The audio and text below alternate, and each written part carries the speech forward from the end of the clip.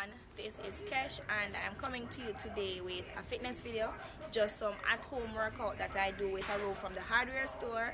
Um, not from the um, sports store. I do have one of those but I just prefer this one. So basic exercise that you can do at home without equipment or with well at least very little equipment.